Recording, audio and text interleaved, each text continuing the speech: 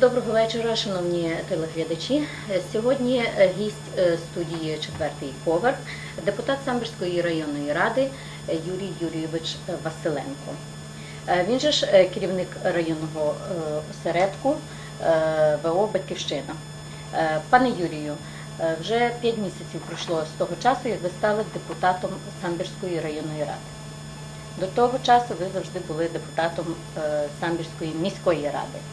Е, Як ви можете проаналізувати різницю якусь е, між е, депутатством в міській і в районній раді? І як вам працюється в районній раді за ці п'ять місяців? Ну, шановні громадяни, шановна аудиторія, дякую, що мене запросили. По-перше, на цей ефір. Вдячний.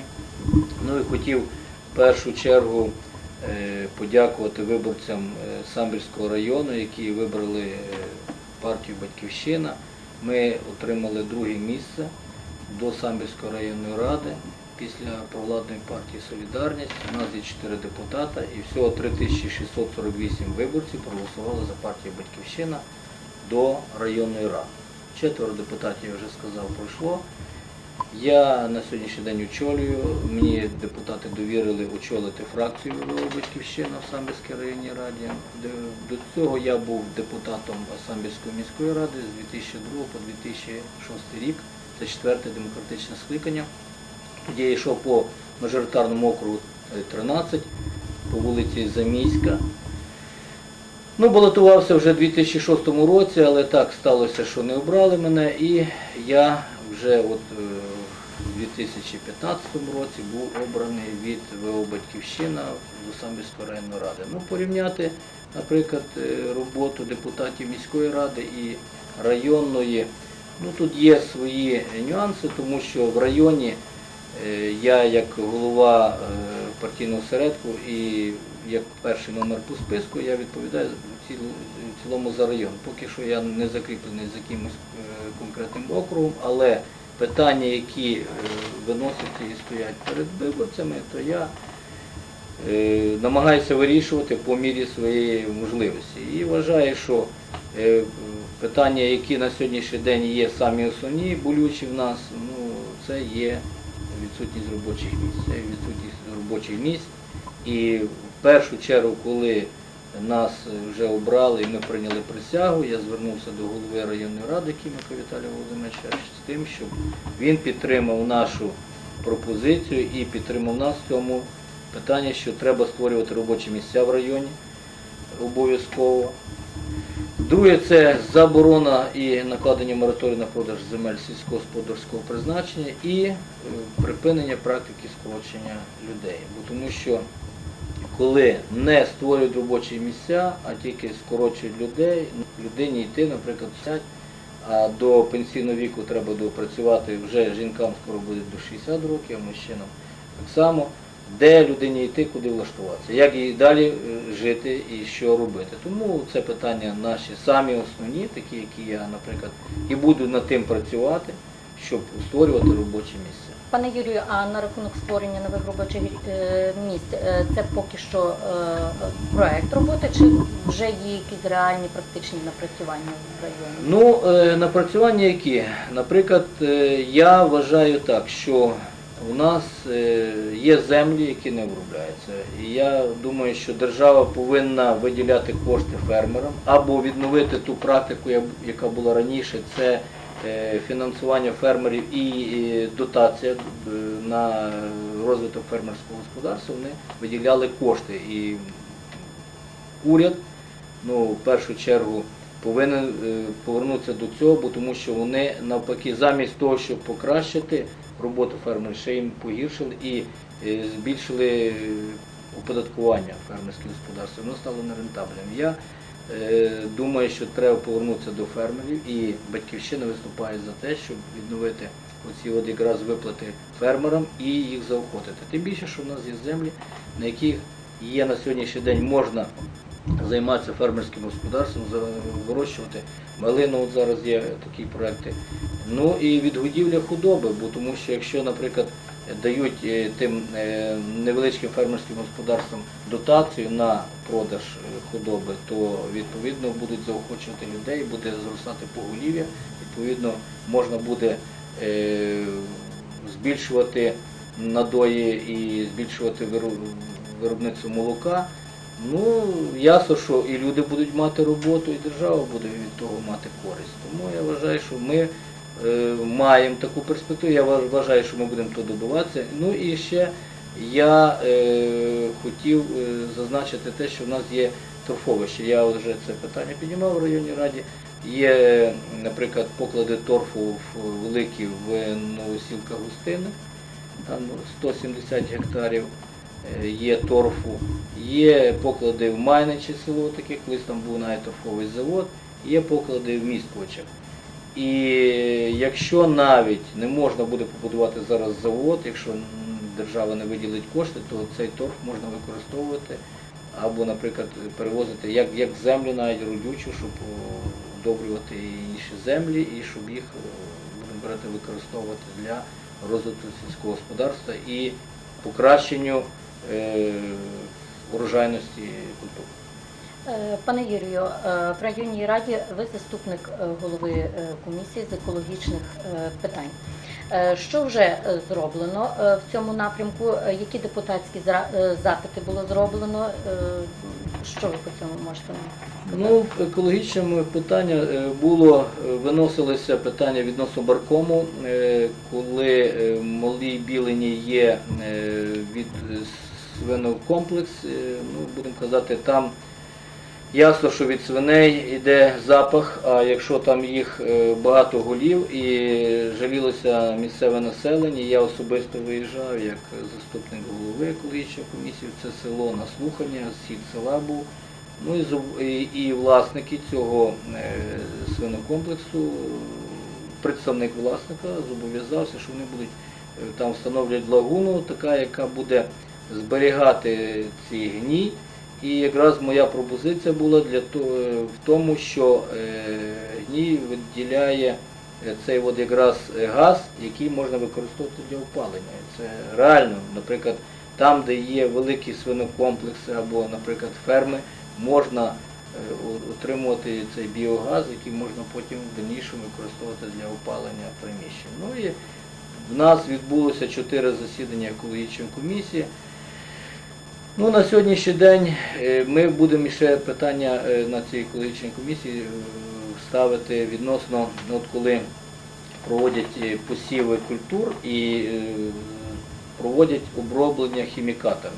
І я знаю, що багато було скарг раніше, ну, попередні роки, що коли оці от великі холдинги, агрохолдинги, не попереджають населення і проводять обробку хімікатами, і відповідно е, хворіють діти, люди, е, вмирають е, бджоли, вони там мають теж певний, е, певну віддаль до скількох метрів, вони не мають права, там є заборона до дві- 200 метрів до першого будівлі. Вони цього, напевно, не дотримуються або не повідомляють населення. Ну, ми це питання ще будемо вирішувати.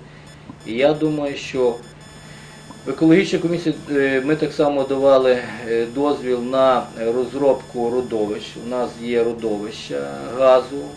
Ми дали дозвіл, але е, в той же час я ставив питання і буду наполягати, щоб хоча б 10% від рентної плати за видобуток газу нафти залишалося на розвиток інфраструктури цієї громади, де ці поклади є. Тому що ми фактично на сьогоднішній день живемо на родовище газу нафти, населення платить за газ е, по російських мірках, а то й дорожче, ніякої знижки немає, а ми маємо газ свій і нафту, і ми не знаємо, скільки видобувають той газу, скільки видобувають нафти.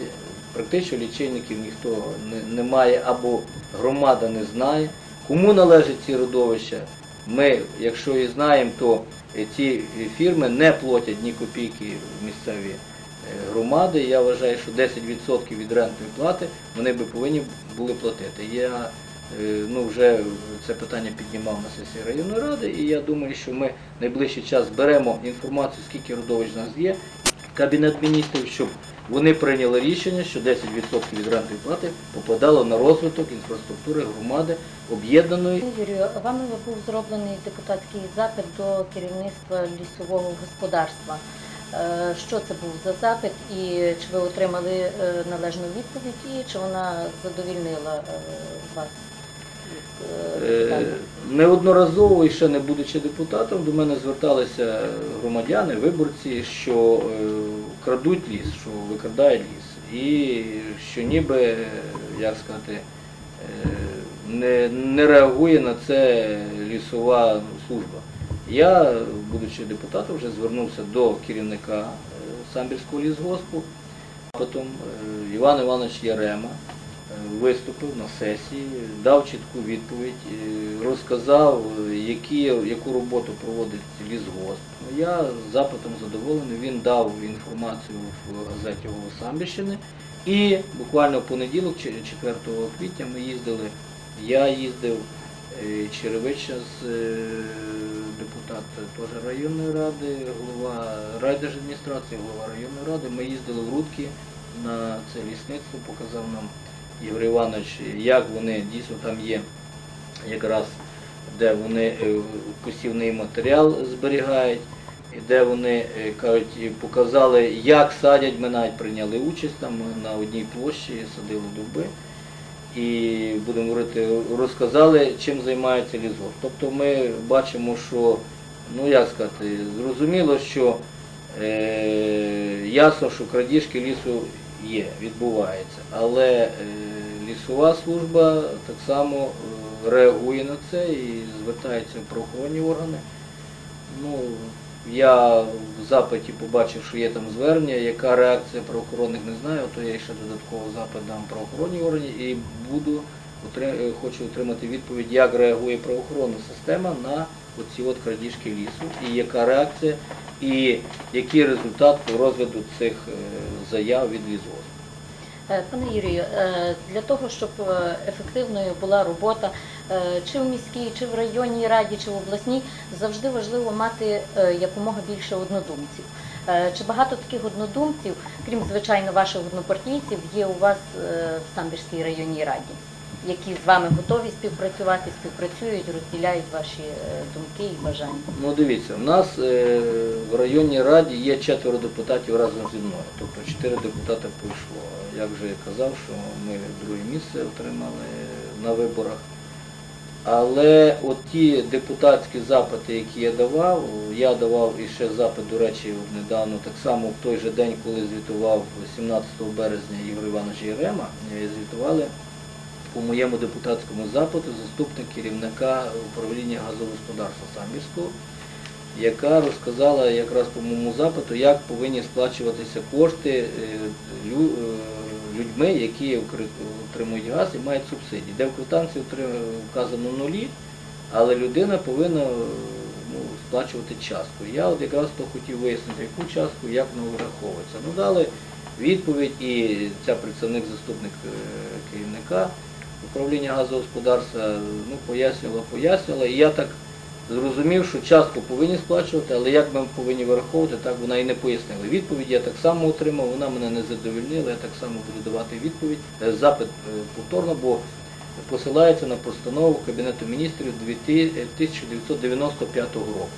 95-го року, вже в нас сьогодні 2016, а вони 95-го року посилаються постанову, і ніби там має сплачуватися обов'язкова частка. І коли ми проводили слухання вже в понеділок, е, кажуть, на, на наступному тижні е, з, е, з участю голови бюджетної комісії Миколи Михайловича, і проводили таке слухання, якраз був заступник, головний інженер, заступник начальника газогосподарства, і вони і так і не роз'яснили, яким чином мають будемо говорити, люди враховувати. І я буду давати запит і прохання в мене, і я думаю, що повинні підтримати. Ну, спочатку зроблю свій депутатське звернення, щоб е, вказували самі працівники газогосподарства, яку частку повинна сплачувати людина, бо тому що вони бачать конкретне споживання, вони можуть вирахувати частку, вони повинні вирахувати і дати людині конкретну цифру, яку повинна людина заплатити за газ. А не так людина повинна вираховувати. Ну так, тому Ну. що різні категорії населення отримують. Коли е, молода сім'я їй це зробити простіше, а коли це отримують пенсіонери вже е, такого е, поважного віку, їм значно це е, дуже часто зробити важко. Та навіть і молодого віку треба знати, яку частку 10%, 5, 3, де ну ніхто не, не посилається, вони ж не вказують, що ви повинні обов'язково частка, яка становить 10% від спожитого газу або від тої суми, яку ви, наприклад, маєте сплатити. Вони ж то не вказують, а вони розказують обов'язкову частку, яку самі не знають. Розумієте? Тому я вважаю, що з газовим питанням це дуже складне. Я кажу, що я отримав ну, реальну відписку, я вважаю. Я не задоволений цією відповіддю однозначно, я буду все ж таки звертатися в газове управління. І, бо тому що вони самі не дають відповідь, дає Львів, а навіть Київ. І я буду вимагати, щоб вони дали чітке роз'яснення, щоб люди знали, скільки вони повинні платити і на підставі чого. Якщо є субсидія, вказано в квитанції нуль, чому людина повинна платити якусь суму і яку конкретно не знає. То я вважаю, що це мене не задовольнило, я буду звертатися знову обов'язково, щоб отримати чітку відповідь і роз'яснити людям. І як тільки ви відповідь отримаєте, ви повинні зразу нам повідомити. Однозначно, я вам І повідомлю, зустрітися з я вам повідомлю і обов'язково в газеті повідомлю, бо ту відповідь так само хотіли публікувати в газеті. Я вважаю, що це ну, відповідь, яка ні про що не говорить і яка не дає відповіді на запитання реально. Е, Зрозуміло. Е, Пане Юрію, ви е, член партії Батьківщина з 2009 року. Так. З 2011 року е, е, керівник її е, на районному рівні. Е, Ну, в наш час якщо б не перебільшити, можливо, навіть десь і рідкість. Е, Тому що ми вже звикли до того, що завжди всі перебігають з однієї партії в іншу, міняють тільки так, як е, е, комусь вигідно. Ви все ж таки стільки часу присвячуєте роботі е, і діяльності е, партії Батьківщина. Чому е, саме і декілька слів про вашу політичну ще діяльність? Дивіться, йде мова за те, що я був прихильником Юлії Володимира Тимошенко з моменту того, як, ну, як вона почала політичну кар'єру. І вважаю, що це є сильний лідер, це є жінка, яка дійсно заслуговує увагу, повагу. І вона мені завжди ну, імпонувала своєю наполегливістю, своєю е, бажанням йти до перемоги і до кінця е, добитися своєї цілі. Бо тому що я пам'ятаю, як е, в 2004 році була революція, то завдяки їй Ющенко став президентом. То не перебільшення, так воно є. Ви пам'ятаєте, тоді це було отруєння Ющенка, він був хворий, він не міг. А Юлія Володимирівна їздила по Україні, піднімала людей, піднімала на боротьбу, піднімала на те, щоб е, поміняти ту владу діючого президента Кучму. І все зробили, щоб Ющенко став президентом. І віддяка, яка наступила, ви пам'ятаєте, я вважаю, що ну, Ющенко поступив недостойно, як мужчина, бо тому що, е, ну, як сказати, якщо е, він е, почав дружити з фірташами і коли Тимошенко він е, зняв з посади прем'єра, то на місце спочатку Їханурова, а пізніше Януковича поставив. Того ж фактично чоловіка, який е, пізніше і почав його зневажати. Ми пам'ятаємо, як було питання, що е, мав приїжджати Ющенко, а йому там крісло десь поставили десь збоку. Прем'єр навіть ну, не поважав свого президента. Я вважаю, що і друге питання. Е, Забувають люди, а я хотів нагадати, що в 2005 році саме Ющенко поміняв ціну на газ. Була ціна на газ по угодах е, 50 доларів за тисячу кубів. 50 доларів. Це Кучма свій час підписав з Росією такі, таку угоду, і ця угода мала діяти 10 років. Але е, Ющенко вирішив цю угоду розірвати, бо він сказав, що йому газ потрібний ринковий. І відправив Івченка, який не знав російської мови, з перекладачами поїхав в Росію і цю угоду розірвав. Бо треба було ринкову, ринкову ціну було. 50 доларів не підходило Ющенку, треба було ринкову ціну. І тоді вже підняли ту ціну там е, набагато більше. І е, якщо за ту вже газові угоди говорити, то е, Дубіна, коли їздив перед тим, як Тимошенко підписала угоду, е, пропонувалася ціна на газ 235 доларів. Але сказав е, Ющенко, що йому така ціна не підходить, Дубіну відкликав. А коли вже перекрили газ, виходу не було, тоді Тимошенко підписали. Я її поважаю як людину і е, ви пригадуєте, от у 2011 році, коли Тимошенко е, посадили, е, в 2012 коли посадили в тюрму, ми е, проводили вічі, неодноразові вічі, їздив я особисто до Лук'янівського, е, до спочатку до Печерського суду, його називають Печерний, до Печерського суду. Нас масово людей їздило. Ми їздили ну, по своїй ініціативі, збиралися ясно за свій рахунок і ночували там в наметах, бо стояли там намети. Пізніше посадили Тимошенко, і вона не схилила голову, вона не просила пробачення, не просила милостиню Януковича, щоб він відпустив. Вона як жінка була сильна, не схиляла голову. І з тюрми писала звернення до людей, щоб вони боролися, і все ж таки, е, ну я рахую справедливість, і матір Божа, видно, її опікує і допомагає. Я вважаю, що це реальний президент, який дійсно буде е, працювати на людей і працювати для людей, і вона це і робить. Але люди повинні зрозуміти, що за гроші, якщо на виборах дають, роздають людям гроші, там кому 200, кому 300, ми це знаємо. Це не секрет. Я називати приклади не буду, але знаємо за, за, за такі факти, ну такі мають місце. І е, голосують за того чи іншого кандидата. Ну, я розумію, що кандидат або в президенти, або до мається на увазі за е, людину, яка е, йде до влади, того президента, щоб потім е, жити по-новому, обертається жити в три рази гірше, ніж по-старому. Так ми знаємо, що при Януковича було долар 8 гривень, тепер при новому президенті у нас вже 26, 27, було і 30. Тобто, якщо е, пенсію не підняли, а людина отримує там, наприклад, е, ну там хай буде в середньому 1200 гривень, то це було, якщо перевести на валюту тверду 150 умовних одиниць, а тепер ви рахуєте скільки, ну то 30 виходить. Тобто людина в 4 рази, ну хай в 3 рази жила, жити стала гірше. Хоча ми не можемо сказати, ми за долари не купляємо якісь або там кажуть умовні одиниці товари, але ми самі розуміємо, що пальне і то всі решта ціни зразу моментально підскочили. Коли хліб був 2 гривні, а тепер вже 7-8, то ясно, що ми будемо судити по хлібу. Все збільшилося в ціні в три рази.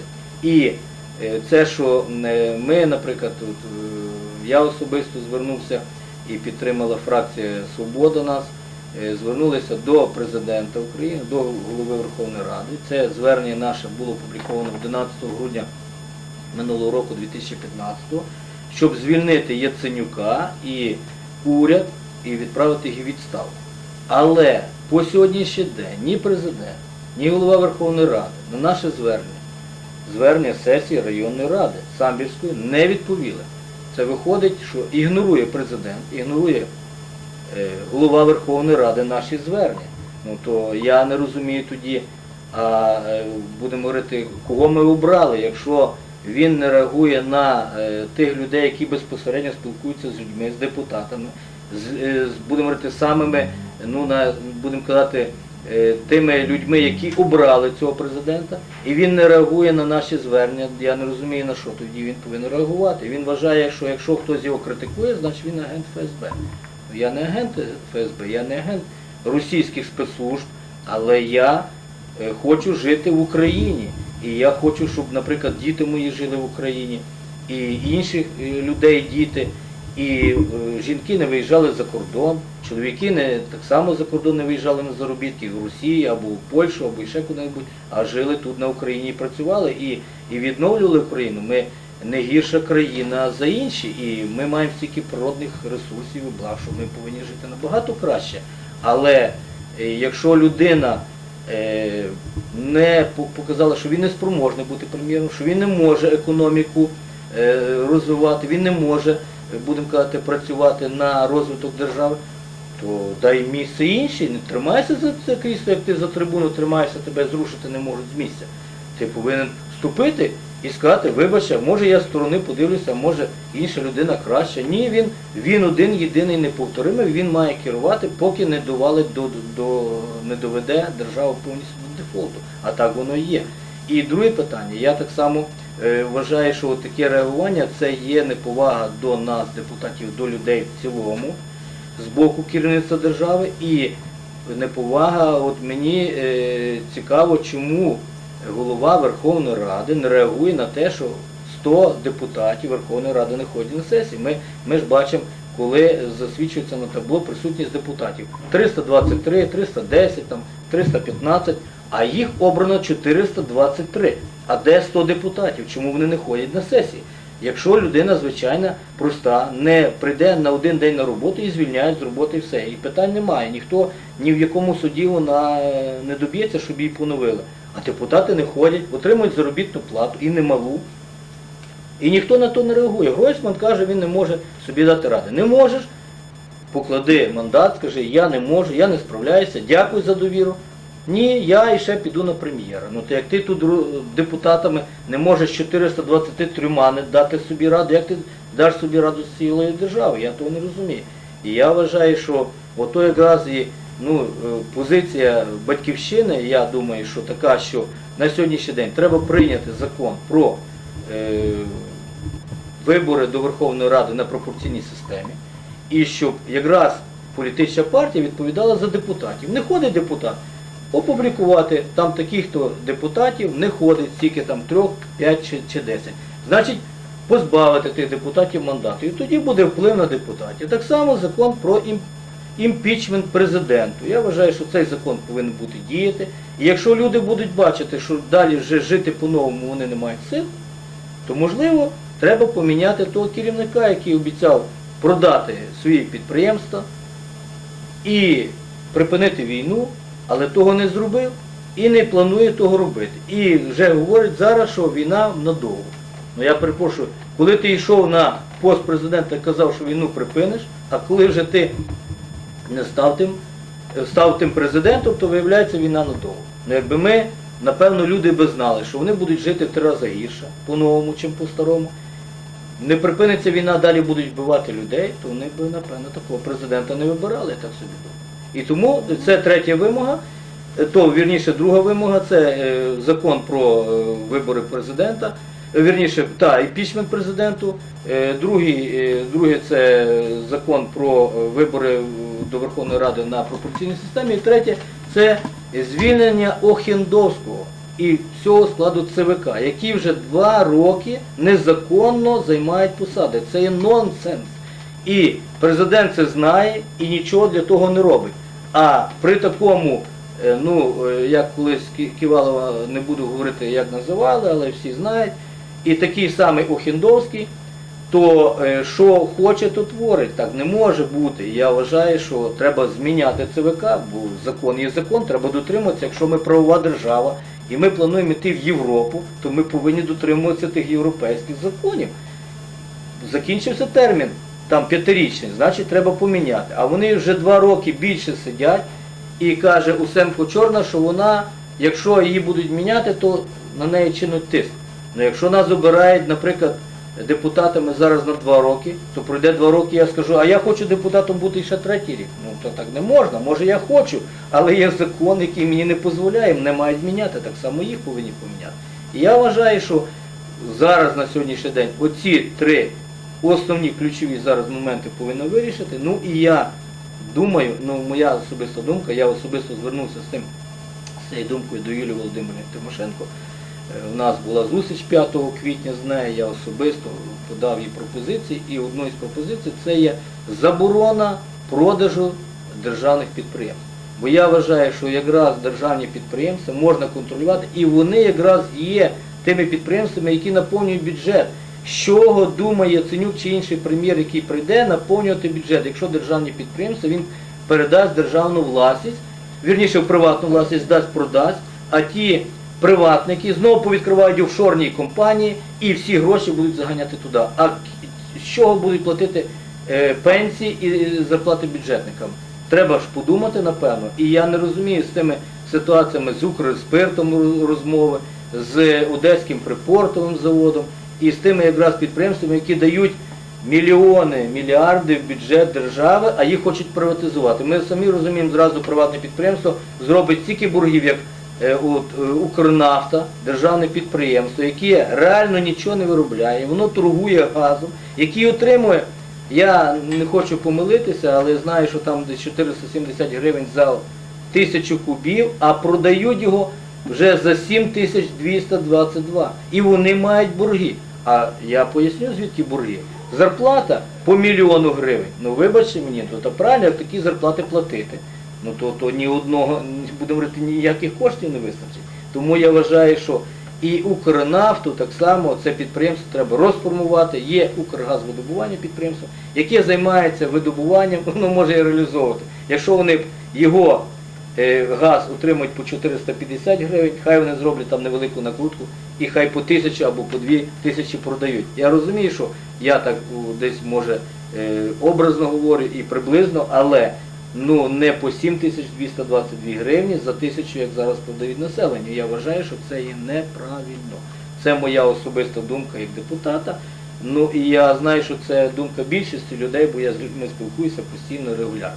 А відносно партійного середку, то в нас налічується в районі 618 депута... е, членів партії. В кожному селі є в нас організація. В кожному селі осередок, хай невеликий, хай три чоловіка, але в кожному селі району. І повірте мені, що люди дійсно, які є прихильниками Тимошенко, і є багато, ну е, всі не можуть вступити в партію, самі розумієте, але є багато прихильників, і той результат, який ми маємо, і будемо говорити, та довіра людей, яка є, я вважаю, що це є аванс для нас. Ми будемо працювати далі, щоб люди нам вірили, а ми все робили для того, щоб людям покращити життя. Е, Ну що ж, пане Юрію, мені тільки залишається подякувати вам е, за е, вашу цікаву розмову сьогодні з нашими телеглядачами і побажати вам, напевне, здійснення всіх ваших планів, як на районному рівні, так і планів здійснення всіх ваших побажань вже на вищому державному рівні, ті, які би ви хотіли, щоб вони втілилися в життя. І нехай вам тільки Бог допомагає, всього вам найкращого. А я ще раз хочу нагадати вам, шановні телеглядачі, е, що сьогодні гостем в нашій студії був депутат Самбірської районної ради пан Юрій Василенко. До побачення.